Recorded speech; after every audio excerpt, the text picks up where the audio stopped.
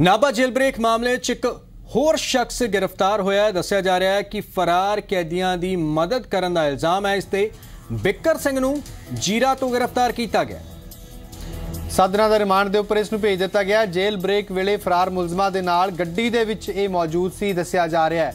ਤਾਂ ਇੱਕ ਹੋਰ ਸ਼ਖਸ ਨੂੰ ਫੜਿਆ ਗਿਆ। ਬਿੱਕਰ ਸਿੰਘ ਨਾਂ ਦੇ ਸ਼ਖਸ ਨੂੰ ਜੀਰਾ ਤੋਂ ਗ੍ਰਿਫਤਾਰ ਕੀਤਾ ਗਿਆ ਨਾਭਾ ਜੇਲ੍ਹ ਬ੍ਰੇਕ ਮਾਮਲੇ 'ਚ ਇੱਕ ਹੋਰ ਗ੍ਰਿਫਤਾਰੀ ਹੋਈ ਹੈ।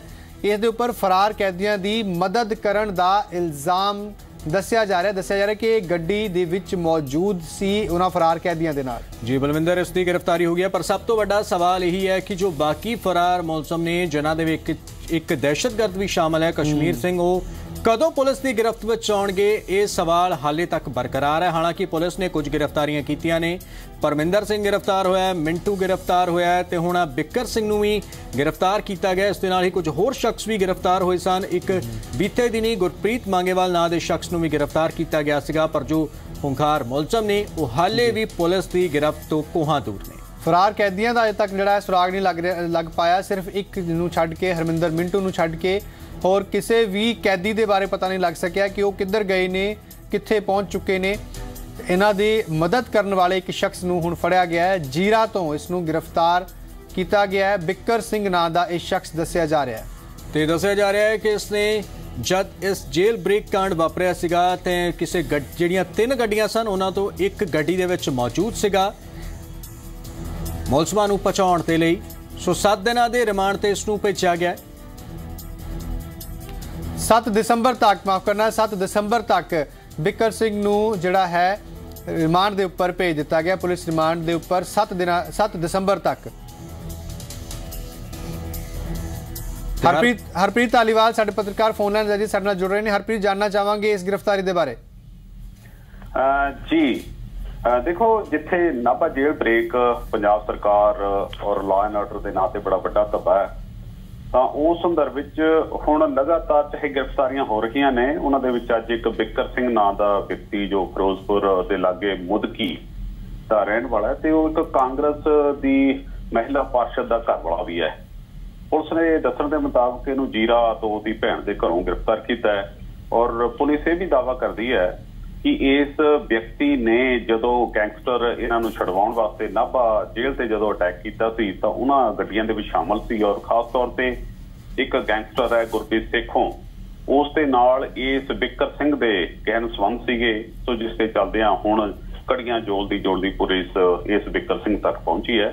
ਹਾਲਾਂਕਿ ਸਰਕਾਰ ਦੀ ਤੁਸੀਂ ਸਾਰੇ ਜਾਣਦੇ ਹੋ ਕਿ ਸਰਕਾਰ ਦੀ ਸ਼ਾਖ ਦਾਅਵ ਤੇ ਲੱਗੀ ਹੋਈ ਹੈ ਵਿੱਕੀ ਕਾਉਂਡਰ ਗੁਰਪ੍ਰੀਤ ਸੇਖੋਂ ਜੀ ਹਰਪ੍ਰੀਤ ਕੀ ਇਹ ਇਸ ਦੇ ਉੱਪਰ ਵਿੱਚੋਂ ਇਸ ਦੇ ਕੋਲੋਂ ਪੁੱਛਗਿੱਛ ਵਿੱਚ ਵੀ ਕੁਝ ਖੁਲਾਸੇ ਹੋ ਸਕਦੇ ਨੇ?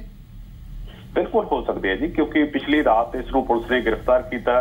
ਅੱਜ ਵੀ ਪੁੱਛਗਿੱਛ ਇਸ ਤੋਂ ਹੋਈ ਹੋਣੀ ਹੈ। ਜਿਸ ਤੇ ਚੱਲਦਿਆਂ ਅੱਜ ਜਦੋਂ ਕੋਰਟ ਦੇ ਵਿੱਚ ਇਹਨੂੰ ਪੇਸ਼ ਕੀਤਾ ਗਿਆ। ਤਾਂ ਉਸ ਤੋਂ ਬਾਅਦ ਜੋ ਜਿਹੜੇ ਪੁਲਿਸ ਅਧਿਕਾਰੀ ਇਹਨੂੰ ਲੈ ਕੇ ਆਏ ਸੀ ਉਹਨਾਂ ਦੇ ਦੱਸਣ ਦੇ ਮੁਤਾਬਕ ਗੁਰਪ੍ਰੀਤ ਸੇਖੋਂ ਦੇ ਨਾਲ ਇਸ ਦੇ ਰਿਲੇਸ਼ਨ ਸੀ।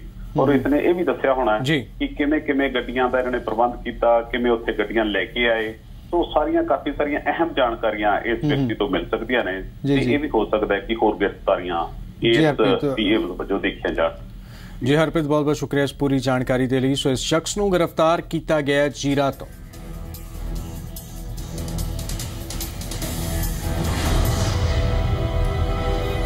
ਤਾਂ ਨਾਭਾ ਬ੍ਰੇਕ ਮਾਮਲੇ ਨਾਲ ਜੁੜੀ ਹੋਈ ਇੱਕ ਹੋਰ ਖਬਰ ਵੀ ਤੁਹਾਨੂੰ ਦੱਸਦੇ ਹਾਂ, ਉਸ ਦੇ ਵਿੱਚ ਕੀ ਕੁਝ ਹੋਇਆ ਉਸ ਦੇ ਬਾਰੇ ਗੱਲ ਕਰਦੇ ਹਾਂ।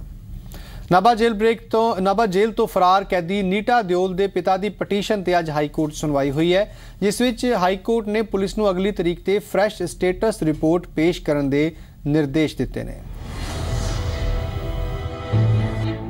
ਨਾਭਾ ਜੇਲ ਬ੍ਰੇਕ ਮਾਮਲੇ ਦੌਰਾਨ ਫਰਾਰ ਹੋਏ ਨੀਟਾ ਦਿਓਲ ਦੇ ਪਿਤਾ ਵੱਲੋਂ ਹਾਈ ਕੋਰਟ ਵਿੱਚ ਪਾਈ ਅਪੀਲ ਤੇ ਪੰਜਾਬ ਤੇ ਹਰਿਆਣਾ ਹਾਈ ਕੋਰਟ 'ਚ ਸੁਣਵਾਈ ਹੋਈ। ਹਾਈ ਕੋਰਟ ਵਿੱਚ ਐਸਐਸਪੀ ਪਟਿਆਲਾ ਨੇ ਐਫੀਡੇਵਿਟ ਜ਼ਰੀਏ ਆਪਣਾ ਬਿਆਨ ਪੇਸ਼ ਕੀਤਾ। ਐਸਐਸਪੀ ਵੱਲੋਂ ਕਿਹਾ ਗਿਆ ਕਿ ਹੁਣ ਤੱਕ ਨੀਟਾ ਦਿਓਲ ਨੂੰ ਗ੍ਰਿਫਤਾਰ ਨਹੀਂ ਕੀਤਾ ਗਿਆ। ਹਾਈ ਕੋਰਟ ਨੇ ਪੁਲਿਸ ਨੂੰ ਅਗਲੀ ਤਾਰੀਖ ਤੇ ਫਰੈਸ਼ ਸਟੇਟਸ ਰਿਪੋਰਟ ਪੇਸ਼ ਕਰਨ ਦੇ ਹੁਕਮ ਦਿੱਤੇ ਨੇ।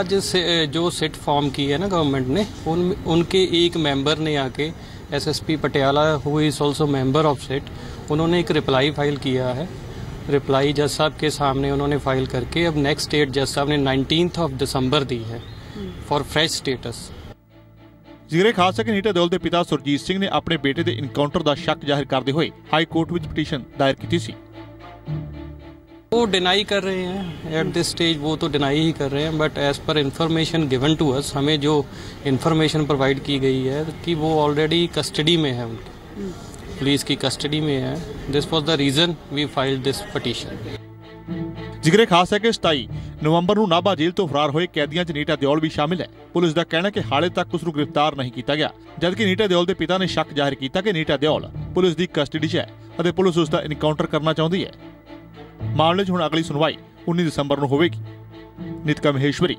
ਜ਼ੀ ਮੀਡੀਆ ਚੰਡੀਗੜ੍ਹ ਦੱਸਿਆ ਜਾ ਰਿਹਾ ਹੈ ਕਿ ਨੀਟਾ ਦਿਓਲ ਦੇ ਪਿਤਾ ਨੇ ਜੋ ਸੋਸ਼ਲ ਮੀਡੀਆ ਦੇ ਉੱਪਰ ਕੁਝ ਖਬਰਾਂ ਆ ਰਹੀਆਂ ਸਨ ਕਿ ਨੀਟਾ ਦਿਓਲ ਨੂੰ ਫੜ ਲਿਆ ਗਿਆ ਹੈ ਪੁਲਿਸ ਦੀ ਗ੍ਰਿਫਤ ਵਿੱਚ ਹੈ। ਉਸੇ ਦੇ ਬੇਸ ਦੇ ਉੱਪਰ ਉਸਨੇ ਪੰਜਾਬ ਪੁਲਿਸ ਕੋਲੋਂ ਪੁੱਛਿਆ ਹੈ। ਹਾਈ ਕੋਰਟ ਦਾ ਉਹਨਾਂ ਨੇ ਬੂਹਾ ਖੜਕਾਇਆ ਤੇ ਹੁਣ ਹਾਈ ਕੋਰਟ ਵਿੱਚ ਇਸ ਮਾਮਲੇ ਦੀ ਲਗਾਤਾਰ ਸੁਣਵਾਈ ਚੱਲ ਰਹੀ ਹੈ। ਗੁਰਪ੍ਰੀਤ ਲਗਾਤਾਰ ਪੁਲਿਸ ਕਹਿ ਰਹੀ ਹੈ ਕਿ ਉਹਨਾਂ ਦੇ ਜਿਹੜਾ ਨੀਟਾ ਦਿਓਲ ਨੂੰ ਗ੍ਰਿਫਤਾਰ ਨਹੀਂ ਕੀਤਾ ਹੈ। ਜੀ ਹਾਂ ਇਸ ਮਾਮਲੇ ਨੂੰ ਲੈ ਕੇ ਕਈ ਤਰ੍ਹਾਂ ਦੀਆਂ ਚਾਰਾਜੋਈਆਂ ਚੱਲ ਰਹੀਆਂ ਨੇ ਜਿੱਥੇ ਕਾਨੂੰਨੀ ਚਾਰਾਜੋਈ ਚੱਲ ਰਹੀ ਹੈ। ਉੱਥੇ ਪ੍ਰਸ਼ਾਸਨਿਕ ਪੱਧਰ ਤੇ ਵੀ ਹੁਕਮਰਾਨ ਧਿਰ ਵੱਲੋਂ ਦਾਅਵੇ ਕੀਤੇ ਜਾ ਰਹੇ ਨੇ ਕਿ ਜੇਲ੍ਹਾਂ ਦੀ ਜੋ ਸੁਰੱਖਿਆ ਉਸ ਨੂੰ ਹੁਣ ਪੁਖਤਾ ਕੀਤਾ ਜਾਵੇਗਾ। ਜੀ ਹਾਂ, ਸੂਬੇ ਦੇ ਜੇਲ੍ਹ ਮੰਤਰੀ ਨੇ ਸੂਬੇ ਦੀਆਂ ਜੇਲ੍ਹਾਂ ਵਿੱਚ ਸੁਰੱਖਿਆ ਦੇ ਲਿਹਾਜ਼ ਨਾਲ ਸਾਹਮਣੇ ਆ ਰਹੀਆਂ ਖਾਮੀਆਂ ਨੂੰ ਦੂਰ ਕਰਨ ਦਾ ਯਕੀਨ ਦਿੱਤਾ ਹੈ। ਕੈਬਨਿਟ ਮੰਤਰੀ ਸੋਨ ਸਿੰਘ ਮੰਡਲ ਨੇ, ਠੰਡਲ ਨੇ ਉਮੀਦ ਜਤਾਈ ਕਿ ਜਾਂਚ ਤੋਂ ਬਾਅਦ ਨਾਭਾ ਜੇਲ੍ਹ ਬ੍ਰੇਕ ਦੀ ਸਾਜ਼ਿਸ਼ ਤੋਂ ਪੂਰੀ ਤਰ੍ਹਾਂ ਨਾਲ ਪਰਦਾ ਉੱਠ ਜਾਏਗਾ।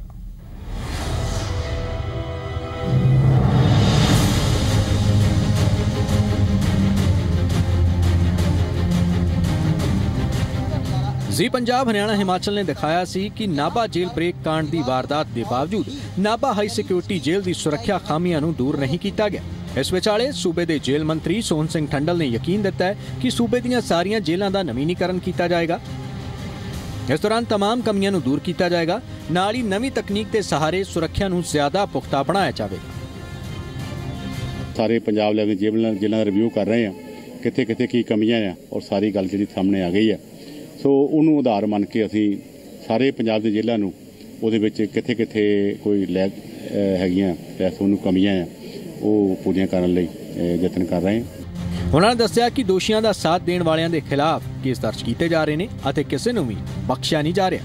ਜਿਹੜੇ ਬੰਦਿਆਂ ਦੀ ਇਹਦੇ ਵਿੱਚ ਹੱਥ ਸੀ ਉਹ ਬੰਦਿਆਂ ਨੂੰ ਫੜਿਆ ਵੀ ਹੈ ਉਹਨਾਂ ਤੇ ਪਰਚੇ ਦਰਜ ਵੀ ਕੀਤੇ ਅਰੈਸਟ ਪੈ ਗਈ ਹੈ ਇਹਦੇ ਪਿੱਛੇ ਕੋਈ ਛੋਟੀ ਮੋਟੀ ਗੱਲ ਨਹੀਂ ਸੀ, ਬੜੀ ਵੱਡੀ ਇਹ ਹੱਥ ਹੋਆ ਕਿਉਂਕਿ ਖਾਲਸਾ ਲਿਬਰੇਸ਼ਨ ਫੋਰਸ ਦਾ ਬੰਦਾ ਜਿਹੜਾ, ਉਹ ਜੇਲ੍ਹ ਬ੍ਰੇਕ ਉਹਦੇ ਕਰਕੇ ਹੋਈ ਆ, ਬਾਹਰ ਗਿਆ, ਉਹਦੇ ਪਿੱਛੇ ਕਿਹੜੀਆਂ ਤਾਕਤਾਂ ਨੇ?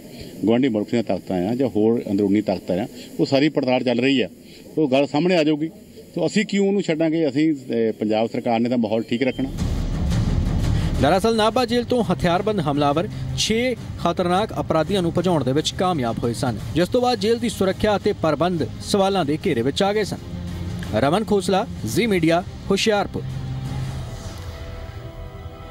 ਸੋ ਜੇਲ੍ਹ ਦੇ ਪ੍ਰਬੰਧਾਂ ਨੂੰ ਲੈ ਕੇ ਸਵਾਲ ਚੁੱਕੇ ਜਾ ਰਹੇ ਸਨ ਤੇ ਜੇਲ੍ਹ ਮੰਤਰੀ ਹੁਣ ਦਾਅਵਾ ਕਰ ਰਹੇ ਨੇ ਕਿ ਇਹਨਾਂ ਨੂੰ ਹੋਰ ਜ਼ਿਆਦਾ ਸੁਧਾਰ ਇਹਨਾਂ ਦੇ ਵਿੱਚ ਲਿਆਂਦਾ ਜਾਵੇਗਾ ਹਾਲਾਂਕਿ ਗੁਰਪ੍ਰੀਤ ਅਸੀਂ ਜਦੋਂ ਕੱਲ ਵੀ ਦੇਖਿਆ ਜਿਹੜੀ ਰਿਪੋਰਟ ਅਸੀਂ ਪੇਸ਼ ਕੀਤੀ ਉਸ ਦੇ ਵਿੱਚ ਵੀ ਬਹੁਤ ਸਾਰੀਆਂ ਖਾਮੀਆਂ ਨਜ਼ਰ ਆ ਰਹੀਆਂ ਇਸ ਜੇਲ੍ਹ ਦੇ ਵਿੱਚ